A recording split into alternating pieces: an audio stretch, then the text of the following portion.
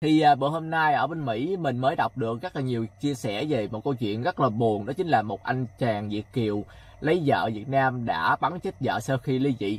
Thì à, bây giờ mình sẽ đi sâu vào vấn đề để mình tìm hiểu coi cái câu chuyện này như thế nào. Và mình sẽ chia sẻ với các bạn. Nhưng mà trước tiên để mình uống cà phê cái đã. Uhm, quá đã.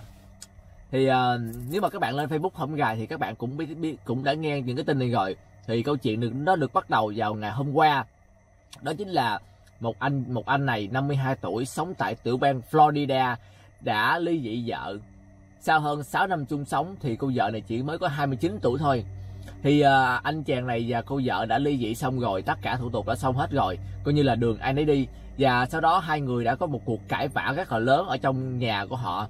Và sau khi mà người bạn của cô gái này á, gọi điện thoại báo cảnh sát thì khi mà cảnh sát tới căn nhà này rồi á thì uh, cảnh sát vẫn không vô được nhà và cảnh sát phải buộc phá cửa sau khi mà cảnh sát nghe được tiếng súng nổ lên. Thì uh, sau đó thì uh, cảnh sát quyết định là cô vợ này đã, đã bị bắn chết và cái người bắn chính là anh chồng này. Thì trước khi mình uh, kể tiếp thì mình sẽ chia buồn cùng gia đình của chị này một chút xíu ok? Sở dĩ mà mình kể câu chuyện này cho các bạn nghe đó thực sự thì những cái câu chuyện này nó xảy ra ở miền nó rất là nhiều các bạn. Nó rất là nhiều đi không phải là mình nói dốc không phải mình nói xạo nhưng mà nó nó xảy ra hàng ngày. Nhưng mà làm sao để mình tránh được làm sao để mình giống như là không không để nó xảy ra được thì mình mình sẽ kể cho các bạn nghe ok? Thì uh, sở dĩ cái anh chàng này á ảnh làm như vậy có rất là nhiều nguyên nhân các bạn biết không? Ở bên Mỹ này giống như các bạn đã từng nghe những câu chuyện mà nhân lì đã kể cho các bạn nghe rồi lấy chồng Việt kiều lấy chồng Việt kiều chén cơm trên nước bắc đó chính là sự thật. Có nhiều có nhiều bạn khi mà họ nghe mình kể chuyện, họ nói mình nó xạo, nó nổ. Nhưng mà cái đó là sự thật, tại vì người ta không nói cho các bạn nghe thôi, ok? Thì các bạn biết không?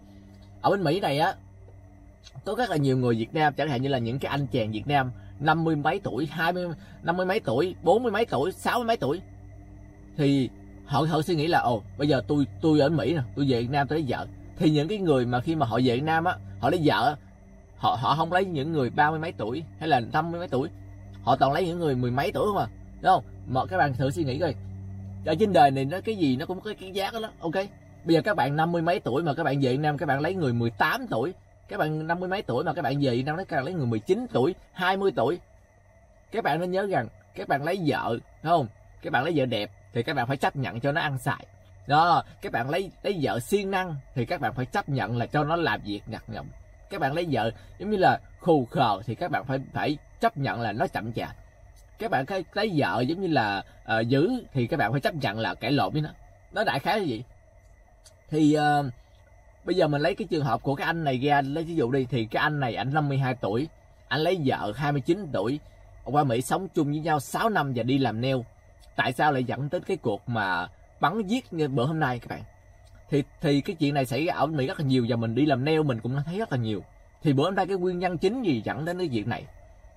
Có rất là nhiều nguyên nhân các bạn. Thứ nhất á, là cái anh này anh ở Việt Nam anh lấy vợ thì anh đã lấy cái cô vợ này. Thì cô vợ này cũng thuộc loại là đẹp, thấy không? Trưng diện. Dạ thì sau khi mà ảnh lãnh cô vợ này qua thì hai vợ chồng cùng đi làm neo thì các bạn cũng đã biết rồi. Các bạn cũng đã nghe mình kể rất là nhiều lần rồi. Khi mà các bạn dẫn vợ các bạn từ Việt Nam qua đó, các bạn phải cho các bạn, vợ các bạn học tiếng Anh nè, học lái xe nè. Đó. Rồi phải đi đây, đi đó, đi đi làm nữa nhưng mà cái anh chồng này anh lại không muốn gì. Anh không cho vợ anh học tiếng anh. Anh không cho vợ anh học lái xe. Đó. Thì khi mà anh chỉ cho vợ anh đi làm thôi. Và sau khi mà các bạn đi đi làm gọi dĩ nhiên là các bạn phải gặp những người trong tiệm. Thì những cái người trong tiệm đó, đó chính là cái nguyên nhân dẫn đến cái sự này. Các bạn hiểu không?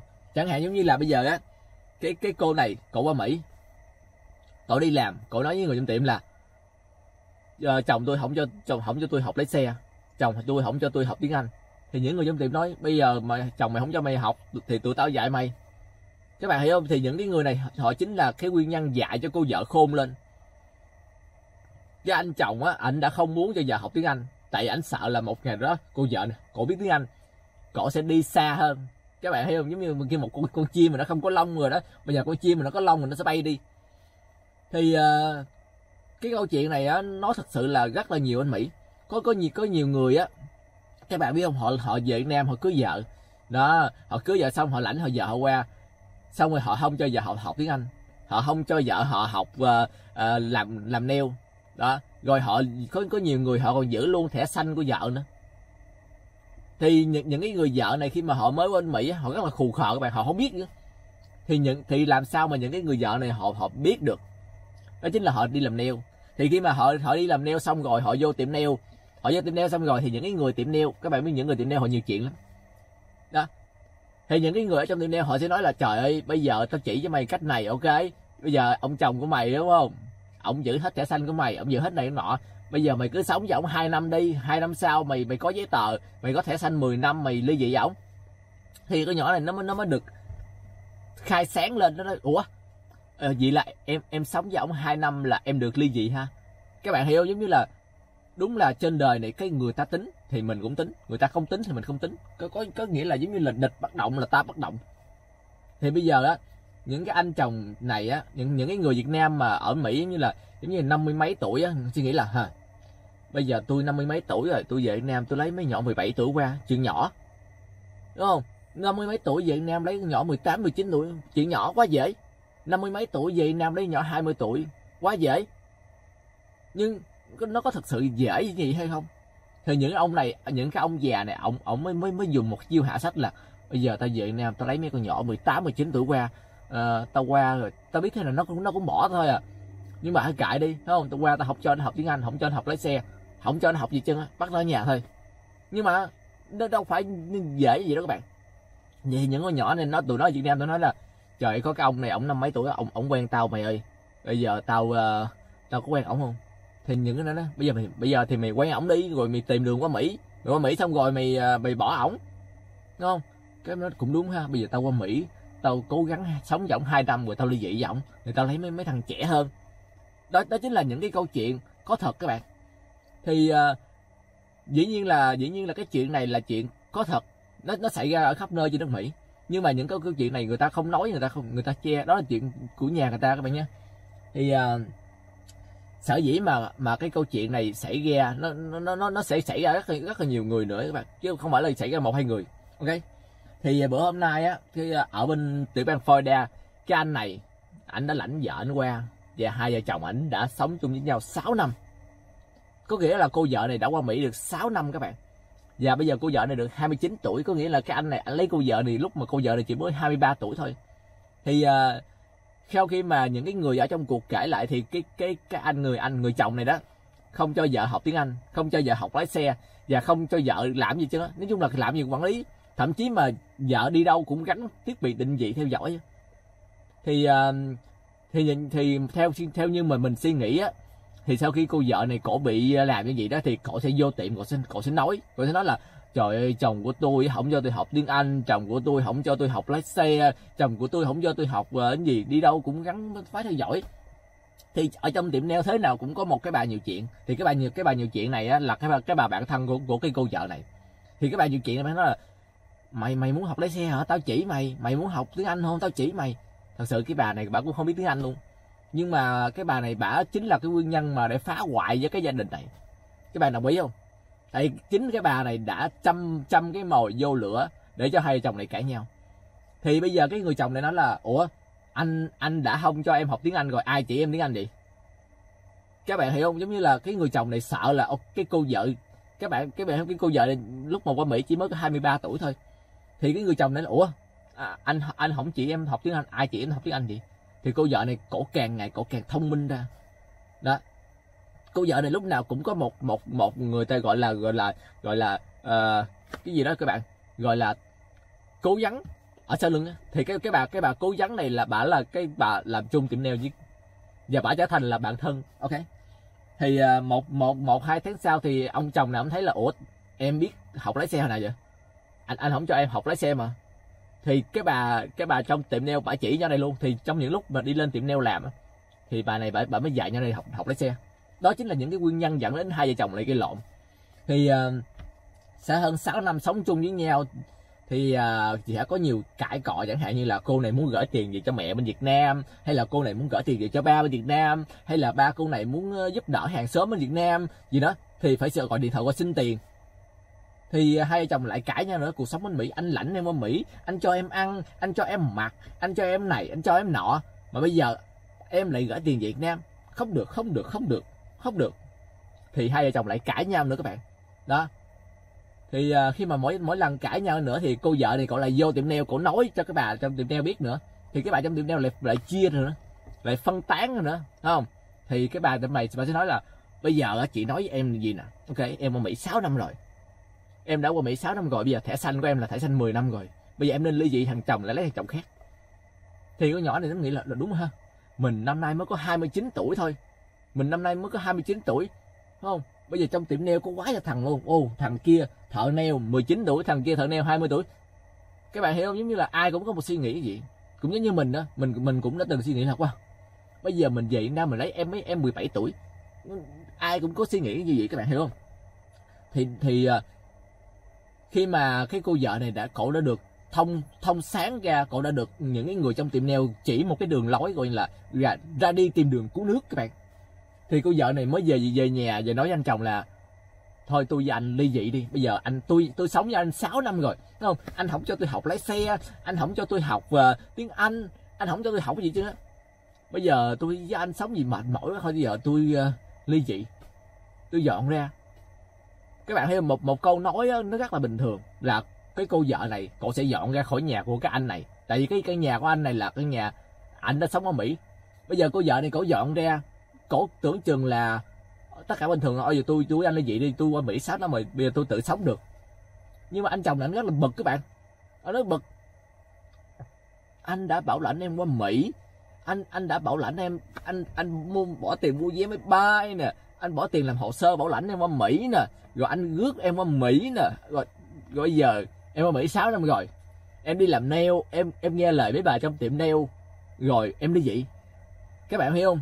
Có rất là nhiều người đã đã như vậy.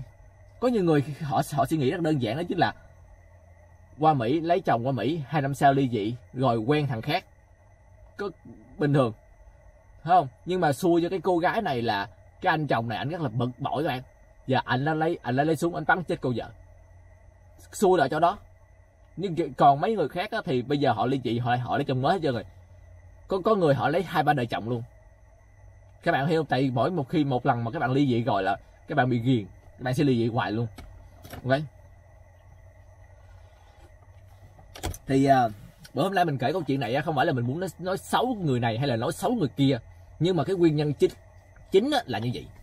Các bạn hiểu không? Thì uh, dĩ nhiên là mình không phải là người trong cuộc mình không hiểu nhưng mà những cái nguyên nhân là như vậy. Ok?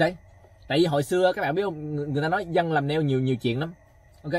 Nhưng mà mình không có nhiều chuyện các bạn. Mình mình mình chỉ nghe thôi thì hồi xưa khi mà mình đi làm neo các bạn biết không? Ai gọi trời? Alo đang bận quay phim lát nữa gọi lại. Thì uh, các bạn biết không? Hồi xưa khi mà mình đi làm neo á cái uh, mình uh, thay, mình trong tiệm neo mình có bốn thằng đàn ông. Mà mình gọi là chú đi các bạn. Mình, tại mình gọi là thằng nó nó hơi kỳ. Nên tại thường thường mình gọi mấy người đó bằng thằng không à. Mình gọi là chú đi. Ok thì trong tiệm mình có bốn thằng. Thì uh, thằng 50 tuổi 60 tuổi và 30 tuổi, lúc đó mình mới có 17 tuổi à. Các bạn biết không? Thì trong tiệm là bốn thằng là tính luôn mình. 17 tuổi 30 tuổi 50 tuổi với 60 tuổi. Thì trong tiệm kia có bốn người bốn người phụ nữ. Trong đó có có một cái bà từ Việt Nam mới mới qua. Các bạn biết không? Thì mình mình đi làm thì cũng như bao người khác mình vô tiệm làm. Thì ngày ngày đầu tiên mình làm mình mới thấy lộ tại sao trước tiệm có ông Việt Nam ổng ngồi đó? Mình cũng chẳng để ý nữa, tại vì mình không phải là nhiều chuyện các bạn. Mặc dù dân làm neo rất là nhiều chuyện, ok? Mình không có nhiều chuyện thì mình mình vô làm ngày đầu tiên mình thấy là ủa sao cái tiệm nail này uh, giống như là nó có một cái cái âm khí gì đó nó nặng lắm các bạn. Thì uh, khi mà mình làm xong rồi chiều mình đi ra mình thấy mình thấy xe của mấy thằng đó bị bị bể bánh xe các bạn. Mình thấy xe của nhưng mà chỉ có riêng riêng chiếc xe của mình là không bị bể bánh xe thôi. Các bạn biết tại sao tại vì á tại vì sáng sớm mình vô mình thấy có cái ông Việt Nam ổng ổng đậu xe ở trước cửa tiệm cái mình mình mới hỏi bà chủ là, ủa, chị chị, cái ông Việt Nam nó làm gì mà ông đậu trước cửa tiệm vậy chị? Cái bà bà bà chủ mới nói, thôi, em em em đừng nói, chồng chồng của cái bà đó. Cái ờ, mình mới mình mới hiểu ra à cái chồng của cái bà này mới mới lãnh bà này từ Việt Nam qua, cho bà này đi làm nail, nhưng mà ông này ổng không đi làm luôn các bạn. Ổng không đi làm luôn, ổng ổng đậu xe trước cửa tiệm luôn. Để ổng coi coi bà này bà có tán tỉnh ai không? Thì bà, ổng ổng mới ổng mới biết là trong tiệm nail có bốn người là tính luôn mình. Nhưng mà hơn một cái là ổng ổng ổng thấy mình còn nhỏ, ổng ổng nghĩ là mình mình thôi thằng này chắc còn nhỏ. Tao tha cho mày. Các bạn biết không? Trong tiệm, bốn người chỉ có một mình là mình là nhỏ thôi. Còn mấy người kia là lớn tuổi hết. Ổng ổng đi, ổng đâm bánh xe hết. Mấy mấy người kia luôn, ổng đâm bánh xe mấy người kia hết luôn. Ổng không đâm bánh xe mình. Cái, mình mới ngạc nhiên là, ủa, tại sao xe của em không bị đâm mà xe của mấy anh, mấy chú bị đâm vậy? Thì bà chủ mới nói là tại vì mày còn nhỏ.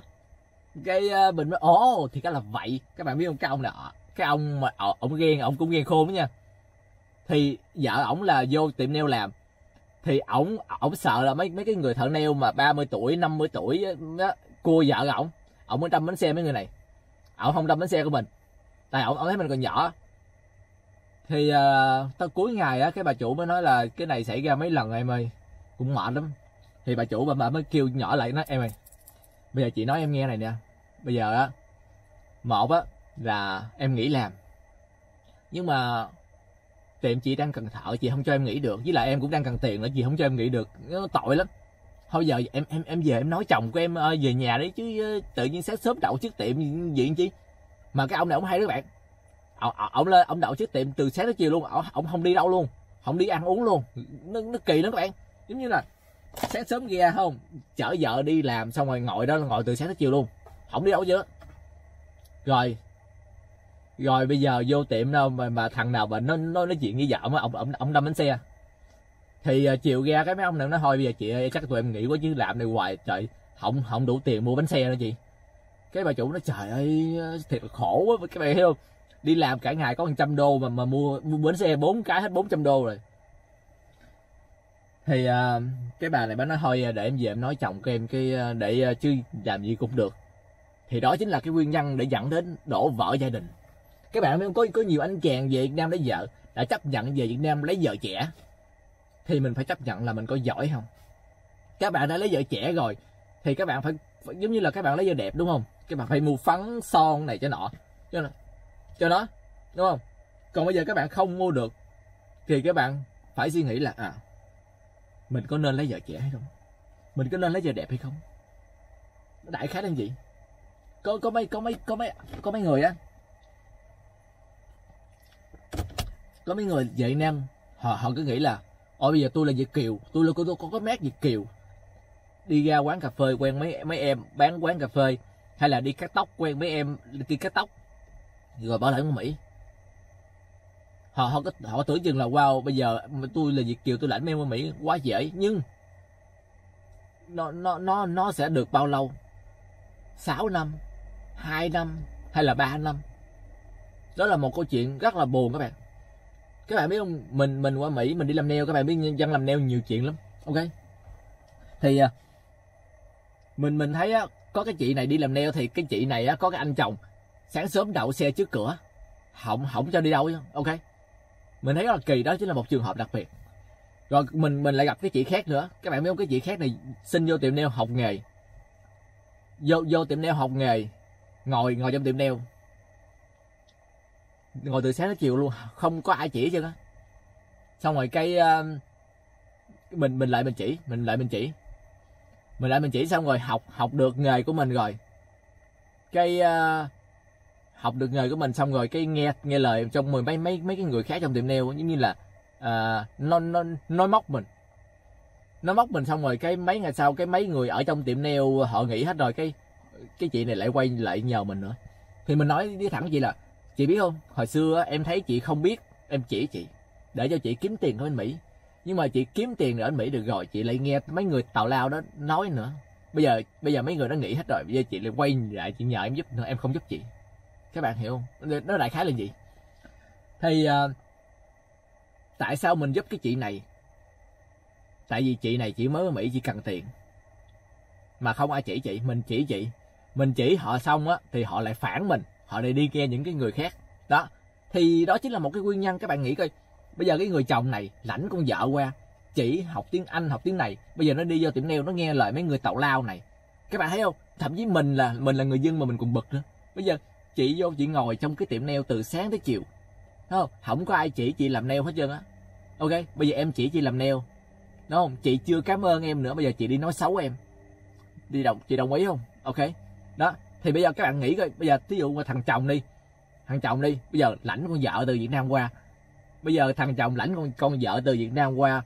Chỉ học tiếng Anh, chỉ học làm nail. Bây giờ con vợ này nó đi nghe mấy người trong tiệm nail tàu lao mía lao nó các bạn các bạn hiểu là cái nguyên nhân gì không? Mình mình không nói là ai đúng hay, hay là ai sai ở, ở trong cái, cái chuyện này ok? Thì uh, ở Mỹ này nó có một cái luật rất là kỳ đó chính là khi mà các bạn ly dị á, thì tài sản nó sẽ chia đôi. Chẳng hạn như bây giờ cái anh mà anh anh chồng này anh sẽ anh sẽ sống ở Mỹ là 10 năm 20 năm gì đó thì ảnh có gia tài là bao nhiêu tiền đó thì sau khi mà hai chồng ly dị rồi tòa án sẽ nói là ok bây giờ uh, tài sản sẽ chia đôi đi cho vợ nữa để con vợ nó sống thì ở ở Mỹ này nó nó đại khái gì ok, bây giờ khi mà, bây giờ anh anh chồng là anh có 100 tỷ đi 100 tỷ. Thì à, khi mà ly dị xong thì tài toán nó là ok, bây giờ à, anh phải chia 50 tỷ cho con vợ đi, tại vì con vợ anh nó nó không có, nó không có khả năng sống. Anh là chồng, anh phải chia đôi cho nó. Thì à, có người, có nhiều người họ không không chịu các bạn. Đó là bực, tự nhiên tiền của tôi tôi chia nó là bây giờ ờ, tôi lãnh nó qua mỹ, bây giờ nó phản tôi tôi tôi chia nó. Thì có nhiều người họ không muốn như vậy các bạn. Ok. Nhưng mà lực pháp là lực pháp ok. Bởi vì có có rất là nhiều người họ nói là có rất nhiều người họ nói là thôi bây giờ ờ, cái ông này ông thương mày gọi mày mày lấy không đi. Hai năm sau mày uh, ly dị ổng mày đi quen hàng khác chuyện nhỏ. Nó thật sự cái chuyện này nó có nhỏ hay không? Cũng giống cái chị này đi bây giờ chị mới ly dị được có 3 ngày thôi mà ba ngày sau là chị đã bị bắn chết rồi. Một câu chuyện rất là buồn các bạn nhưng mà nó dấy lên một cái suy nghĩ là ai đúng hay là ai sai. Có thể cái cô vợ này đúng có thể cái anh chồng ảnh sai. Có thể anh chồng ảnh đúng nữa thì sao? Bây giờ mình thử suy nghĩ đi. Vì cái anh chồng này. Ảnh vậy nè anh lấy vợ. Đó, anh lấy cô vợ này. Xong rồi ảnh qua, ảnh không muốn cô vợ này học tiếng anh, ảnh không muốn cô vợ này học lái xe. Có thể ảnh đã sai, có thể ảnh đã sai. Tại vì ảnh sợ là một ngày đó cô vợ này biết tiếng anh sẽ sẽ sẽ quen người khác một ngày đó cô vợ này biết lái xe sẽ sẽ đi tùm lum tùm la. Có thể anh này anh đã sai trong cái cách hành xử này. Đó. Nhưng mà nó nó nó nó cũng phải có một cái nguyên nhân gì chứ. Có, có thể cô vợ này giống như là qua mỹ rồi tối ngày cứ uh, chân diện đẹp quá hay là ăn mặc đẹp quá. Đúng không? Nó làm cho cho cái ông chồng ông sợ các bạn. Đại khái là như vậy. Ok? Thì nói chung là ai cũng sẽ có cái sai của họ. Ok? Mình không biết được. Mình không biết được thì uh, nhưng mà cái chuyện này là một cái chuyện rất là buồn. Thì mình uh, mình phải lấy cái đó làm gương các bạn nhé. Thì những cái cái cái người nào mà muốn lấy chồng Việt kiều hay là những cái anh nào mà muốn lấy vợ Việt Nam các bạn phải suy nghĩ là ok các bạn đã chấp nhận lấy vợ bên Việt Nam. Các bạn đã chấp nhận lấy vợ bên Việt Nam có nghĩa là các bạn sẽ chấp nhận là phải dạy nó học tiếng Anh nè. Các bạn phải chấp nhận là phải dạy nó học lái xe nè. Các bạn phải chấp nhận là phải tại vì các bạn các bạn nên nhớ là các bạn lấy về Việt Nam á các bạn có cái về Việt Nam các bạn lấy con vợ thì các bạn về Việt Nam các bạn lấy con vợ là các bạn làm giấy tờ này nọ là mất thêm một năm xong rồi con vợ các bạn qua bên Mỹ là mất thêm một năm nữa là hai năm xong rồi con vợ của các bạn nó phải học tiếng Anh là học làm nail này mình nói là nếu mà nó nó, nó thuộc loại là thông minh đó nó nó, nó thông minh nó thì nó mất được thêm năm nữa là 3 năm còn nếu mà nó khù khờ nó mất thêm năm nữa là 4 năm có nghĩa là trong 4 năm này á, các bạn phải là gửi tiền Việt Nam cho em làm giấy tờ nè gửi tiền Việt Nam cho em mua vé máy bay nè gửi tiền Việt Nam để em bay, bay qua Mỹ nè. Đó là xong giai đoạn 1 giai đoạn 2 là các bạn phải bay về Việt Nam để bảo lãnh em qua rồi dẫn em đi chơi Vịnh Hạ Long hay là à, Nha Trang Vũng Tàu ok? Rồi sau đó qua Mỹ ok? Qua Mỹ xong rồi các bạn phải dạy em học tiếng Anh nè dạy em học lái xe nè dạy em đi làm nail nè. Đó giai đoạn 3 là 3 năm. Rồi xong đó rồi nếu mà e, em của em học hoài mà không được là qua 4 năm đúng không? Còn cái nếu mà nhỏ nó khôn là nó nó qua Mỹ 3 năm là nó nó đã biết học lái xe là học tiếng Anh nè. Nếu mà nhỏ nó khôn này thì sau hơn 4 năm chung sống rồi thì con nhỏ này nó nó cũng đã đã quen thuộc với nước Mỹ rồi các bạn quen thuộc với nước Mỹ rồi. Thì à, bây giờ sống thêm 2 năm nữa là đủ là đủ thẻ xanh 2 năm là là đủ tiêu chuẩn ly dị chồng rồi. Thì con nhỏ này nó mới nghe lời suối dại ở trong tiệm nail là hỏi mày ly dị ông, ông già ở đây ông ông ờ, già rồi lấy mấy thằng trẻ trong tiệm này sướng không? Thì nhỏ này nó mới đúng ha bây giờ mỹ có mấy thằng trẻ trẻ nó nó sướng không đi chơi đó đó. Thì cô vợ này cổ mới uh, đưa ra một cái đơn ly dị. Các bạn biết ở mỹ này ly dị nó rất là dễ chỉ cần đưa một cái đơn ra ký giấy tờ xong. À. nhưng mà xui cho cô vợ là cô vợ đã bị bắn chết. Thì các bạn phải suy nghĩ tính các bạn phải tính trước. Thì những cái những cái em nào mà mà muốn lấy chồng Việt kiều các bạn không có suy tính là à chồng của mình ở bên Mỹ á, họ tụi nó cũng làm cực khổ ra đúng không? Bây giờ á, mình muốn mình muốn qua Mỹ đúng không? Thì uh, chồng mình phải gửi tiền về mua vé máy bay nè gửi tiền cho mình đi học tiếng Anh nè. Thì mình cũng phải biết giống là ồ thôi cũng uh, xài tiết tiết kiệm này thôi không? Mặc dù chồng mình là Việt kiều nhưng mà nó nó cũng không có tiền. Không? Sẽ tiết kiệm lại thôi đúng không? Có nhiều người á họ đòi họ quá đáng đúng không? Gửi tiền về sửa nhà gửi tiền về mua đất gửi tiền muốn mua cái gì mua cái gì cũng mua đúng không? Thậm chí hàng hàng xóm bị bệnh á. Hàng xóm bị bệnh cũng gọi điện thoại qua nữa kêu chồng gửi tiền về nữa. Trời chồng anh mỹ đâu phải là cái máy cút tiền đâu các bạn. Các bạn phải nhớ gì ok? Thì uh, có nhiều người họ nói là thì thì bây giờ ai cũng vậy chứ theo thằng này nó muốn con nhỏ này qua mỹ sớm. Nó nó phải gửi tiền về để để bảo lãnh con nhỏ này qua mỹ sớm chứ để nó việt nam nó xài hao quá. Thì con nhỏ này nó nó lại không muốn qua mỹ sớm nó lại muốn ở việt nam để nó kêu thằng này gửi tiền về tại vì nó biết là nếu mà con nhỏ này nó qua mỹ rồi thằng này nó, nó sẽ không gửi tiền gì nữa. Nó đại khái gì đó. Nó ở ở trên đời này ai cũng tính á đúng không? Cái thằng này nó quen con nhỏ này thì nó nó muốn bảo lãnh con nhỏ này qua Mỹ càng sớm càng tốt. Tại vì bảo, bảo lãnh qua, qua Mỹ rồi á thì hai vợ chồng sẽ cùng nhau đi làm nó không cần phải gửi tiền Việt Nam nữa. Nhưng mà con nhỏ này nó lại muốn ở Việt Nam càng lâu càng tốt. Tại nó ở Việt Nam càng lâu thì thằng này nó nó phải gửi tiền về hàng tháng để chu cấp cho con nhỏ này đó tại nếu mà con nhỏ này nó qua Mỹ rồi thì thằng này nó, nó sẽ không gửi tiền nữa. Và hai đứa phải đi làm và kiếm tiền. Ở trên đời này ai cũng tính hết các bạn ơi. À, thì ờ, uh, hôm gài ở bên Florida đang giống như là bàn tán vụ này. Như thực sự thực sự mà nói thì uh, câu chuyện này mình không biết là ai đúng ai sai các bạn. Có thể là cả hai đều sai tại trong cái cách hành xử như vậy. Có thể anh chồng này anh gì quá nóng giận đó. Thì hồi à, ở bên uh, tiểu bang khác nó cũng có một cái vụ tương tự nữa. Và một cái vụ tương tự này nó còn gơ gớ hơn cái vụ này nữa. Các bạn biết ở, ở hổm gài là bên Florida là cái anh chồng này 52 tuổi bắn chết người vợ là 26 tuổi. Ok? Thì uh, gia đình của cô gái này bên Việt Nam á họ đang tìm cách để đưa thi thể cô gái này về Việt Nam. Ok? Câu chuyện rất là buồn rất là buồn.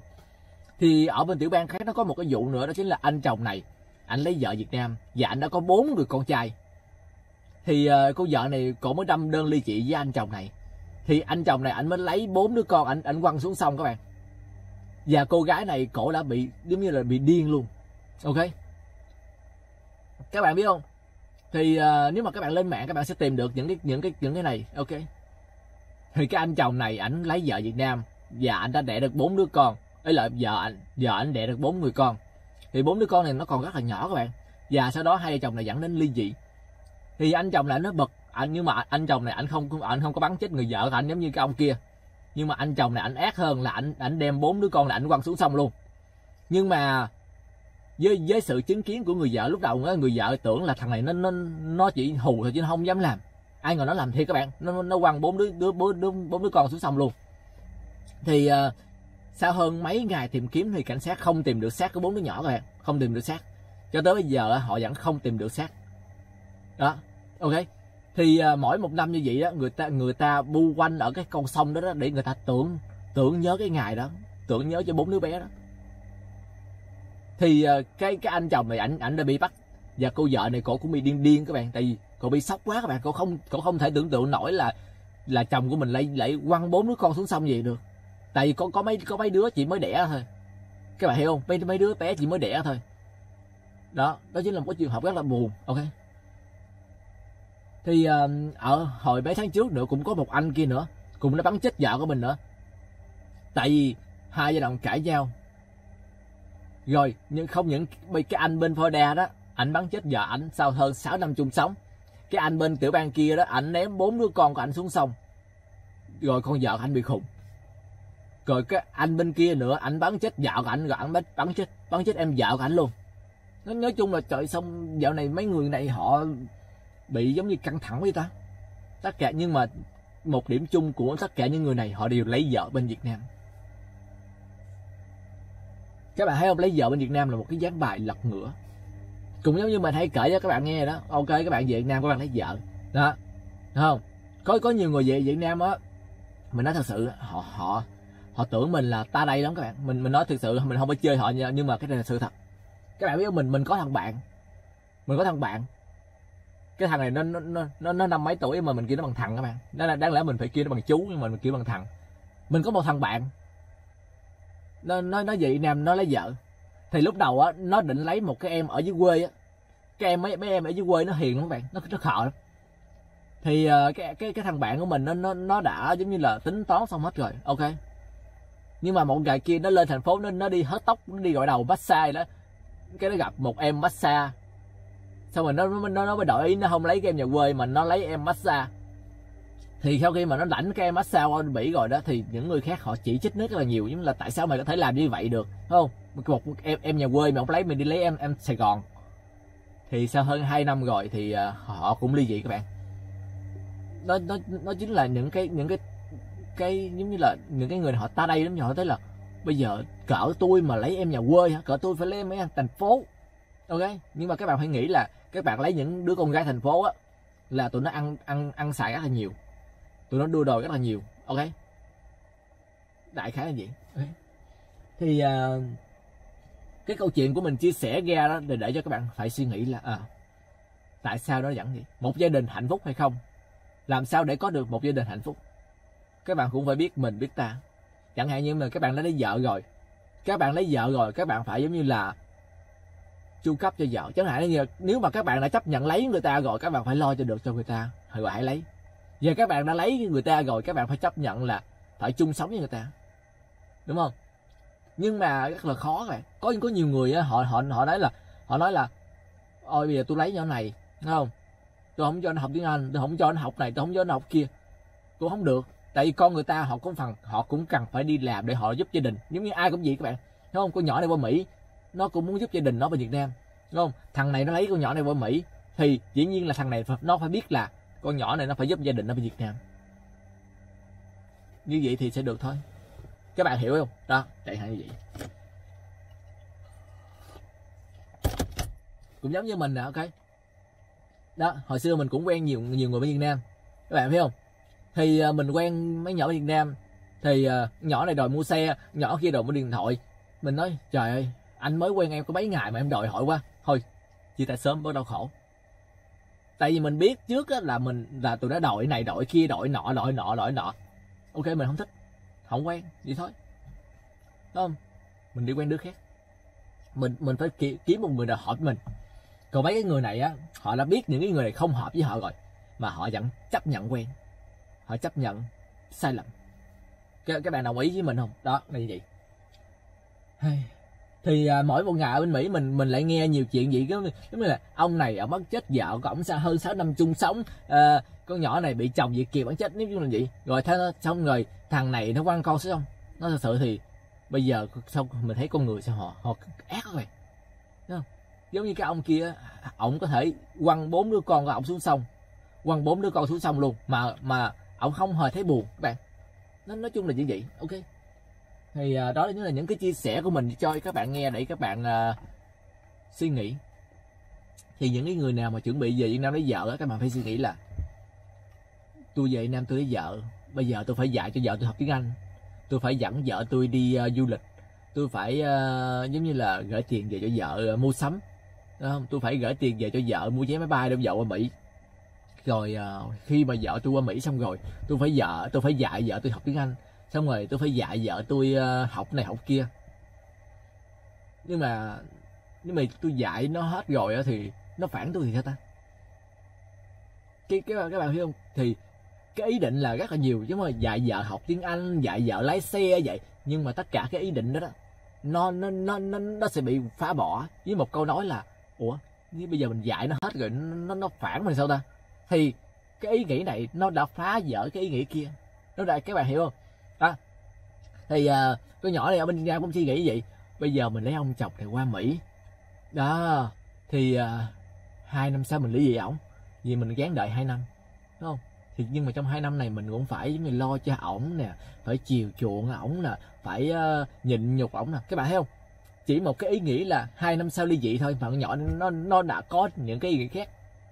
Đúng không? Cái ông này á ông cái ý nghĩ ban đầu của ổng là lo cho vợ dạy vợ học tiếng anh dạy vợ học này dạy vợ học kia. Nhưng mà cái tắc nhưng mà, mà những cái ý nghĩ này của ông đã bị phá bỏ. Tại vì ông sợ vợ ông phản ông. À nhưng mà cái cô vợ này cổ suy nghĩ là ok bây giờ tôi qua mỹ hai năm sau tôi sẽ bỏ chồng tôi. Thì cái cô vợ này một ý nghĩ thôi cậu lên nghĩ ra nhiều ý nghĩ khác. Ồ bây giờ hai năm sau tôi bỏ chồng tôi, nhưng mà trong hai năm này tôi phải làm cái gì? Tôi phải chiều chuộng ổng, tôi phải nghe lời ổng, tôi phải nhịn nhục ổng, tôi phải năn nỉ ổng gửi tiền về cho vợ. Thì, các bạn thấy không? Từ những ý nghĩ này mà nó bị dẹp bỏ bởi một ý nghĩ kia, và từ một ý nghĩ kia mà nó suy nghĩ cái nhiều ý nghĩ này.